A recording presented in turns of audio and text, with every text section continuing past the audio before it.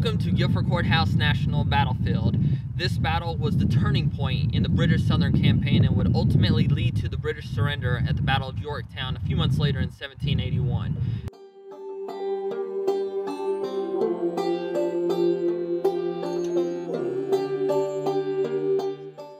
So about 200 yards down this road, which is the old Salisbury Road, is where the American first line was. And the British used the old Salisbury Road to form their battle lines and march against the Americans. Now, all three American lines were situated either next to the road or on the road, and they would actually use this road for their surrender route. So we're about to head to where the American first line was, which is where the battle truly began.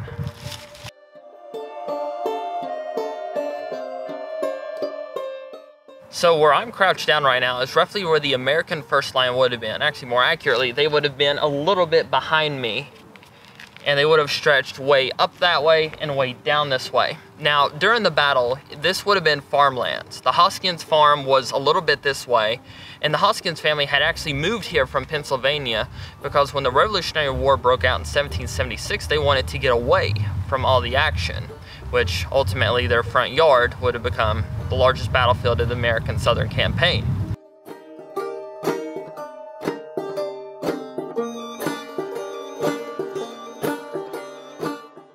Now, a few months earlier, back in January, General Daniel Morgan defeated Lieutenant Colonel Banastre Tarleton at the Battle of Cowpens. And Morgan was one of the first people to figure out how to use American militia effectively. And what he did was he had the militia fire one to two volleys and then fake a retreat and this would have caused the British to charge after them, thinking they would have won a great victory, and they wanted to claim the field. So what Morgan did at Cowpens was as soon as the militia ran, he set his Virginia sharpshooters at a second line to gun down the British officers, which would have caused chaos in the ranks. And then they would have fallen back. And as the British kept charging, they would have run into the Continental regulars, the best the Americans had to offer. Now, Daniel Morgan was not here at Guilford Courthouse, but the strategy that he used at Cowpens was essentially used by Greene here at Guilford Courthouse. Now, the Americans wanted to get off one to two volleys, ideally two, to inflict as many casualties as possible, but according to eyewitness accounts and then reports by Cornwallis, General Leslie of the British, and by Greene and many other commanders that were there, most of the militia only got off one volley before they ran. Now, what's also really cool, one of the reasons I picked this spot to sit here other than the fact it's comfortable, is I had a few ancestors who fought here at Guilford Courthouse, and this is roughly the spot that they would have had their guns positioned along the rail fence. And it is really cool, almost 250 years later, to be exactly where they stood.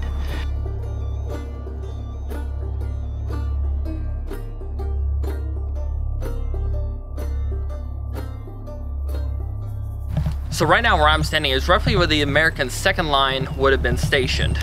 Now, the original plan was for the second line to be reinforced by remnants of the Virginia and North Carolina militia from the first line. However, this didn't end up happening, and the second line, mainly made up of Virginia militia, had to actually open up their ranks to let the North Carolinians that were fleeing back to the third line through, causing a big gap in the hull.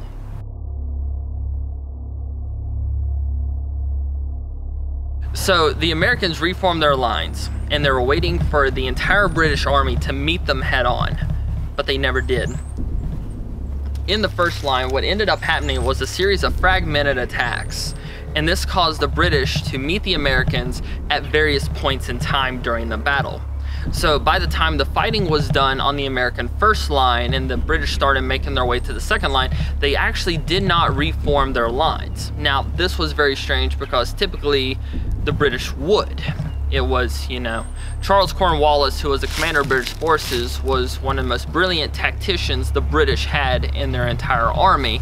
So why he didn't redress his ranks and continue the attack in order, we may never know. But ultimately what ended up happening is you would have one or two British regiments that would meet the American second line one or two at a time.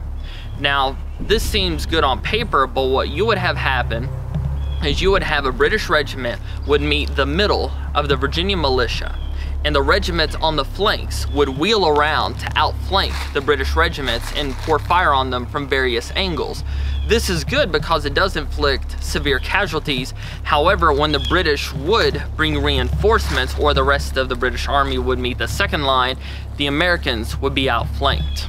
Now, combine this with a series of confusing orders, and this caused the American second line to crumble without doing as much damage as Greene had hoped.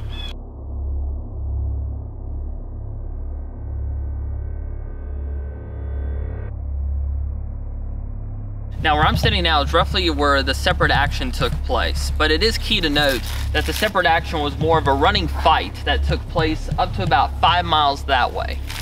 After the American first line broke, it was basically utter chaos. General Light Horse Harry, actually Lieutenant Colonel Light Horse Harry Lee took William Campbell and some of the Virginia militia and actually pulled them back here to the left about half a mile from the American second line. Now why he did this, he wanted to form his own defensive position and some people think that he didn't trust the battle plan of the American second line and he didn't want to risk his precious, precious legion being destroyed.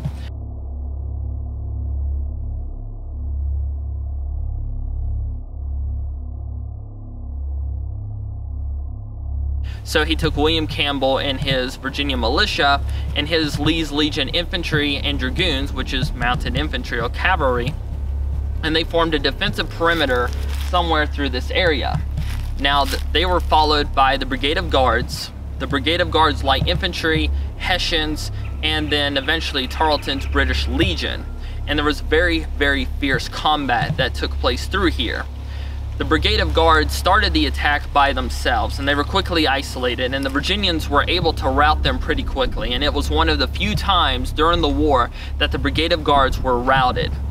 Now they were reinforced by the Hessians who were able to push back the Virginians and the fighting quickly turned into a back and forth action. The British would push the Americans back with bayonet charges and then the Americans would push the British back.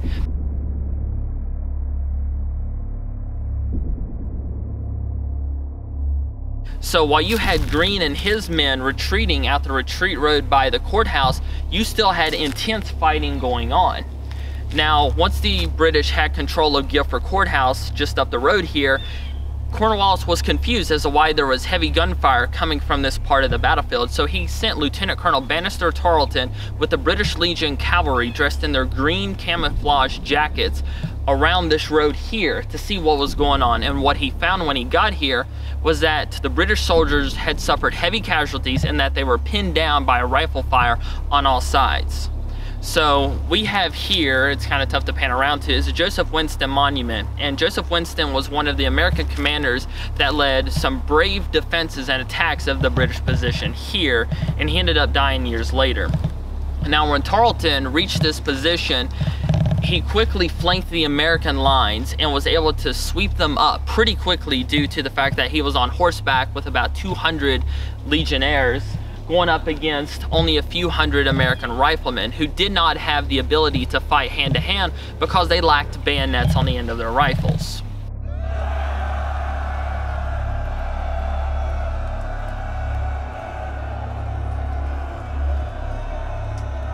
So close to where I'm standing right now is where the American third line would have been positioned.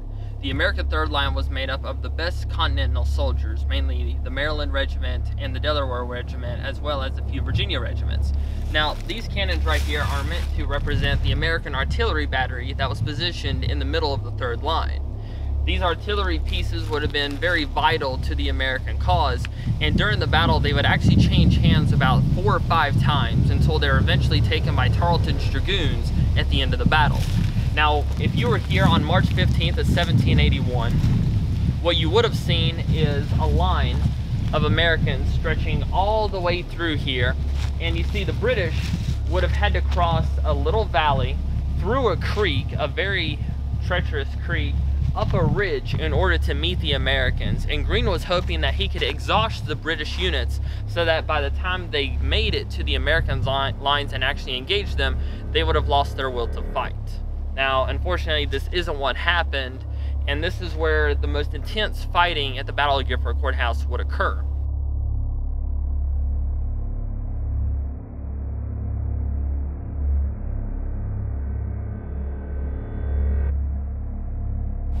Now it's also in this area where some people say the courthouse exists.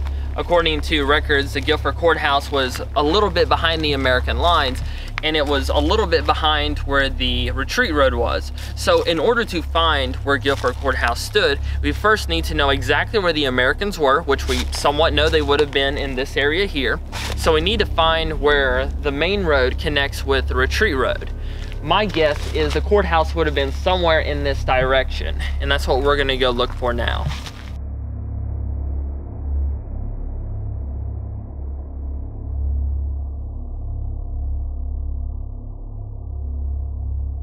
Now, unfortunately, we do not know exactly where the courthouse stood here at Guilford Courthouse, where the battle gets its name from. But here in this area, aside from the courthouse, there would have been a total of about five or six buildings. There would have been the courthouse itself, which was a small one-room cabin. There was a little tavern nearby. There was a jail, and then other miscellaneous buildings, because this was also farmland. Now, something interesting historically is where the American Third Line, there was a slight rise. So you can see a slight rise down there and a slight rise here. The Guilford Courthouse would have been a little bit behind, maybe about 30, 40 yards behind the retreat road, which is believed that the retreat road was maybe 20 or 30 yards up in this direction and it actually extends way out that way. So in theory, the Guilford Courthouse spot would have to be somewhere in this area. My prediction, actually, I would believe it would be somewhere here in the woods. Now, unfortunately, it's a little too populated of an area to do a spirit box session here, but if you'll look closely, you can see some irregularities in the terrain. As you can see, there is a slight slope up that goes here, and it does almost look like this would have been the spot where a building could have been, but you can also say the same for little areas such as this, especially since they have it cleared out. And unfortunately, we do not have an exact terrain map as to how it would have looked at the day of the battle, aside from a British engineer's map so it is one of those historical mysteries that may go unsolved.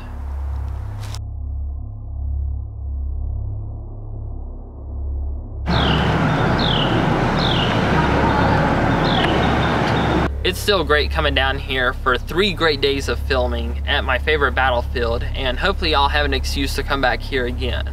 But I hope you all have enjoyed this documentary as much as I did making it. Hopefully you learned something and the Battle of Guilford Courthouse is very underrated in terms of its historical importance, especially in American history. A lot of very important things happen on this patch of ground that it just looks like any normal wooded area, but so many brave men lost their lives fighting for a cause they believed in. And that is worth making this documentary film.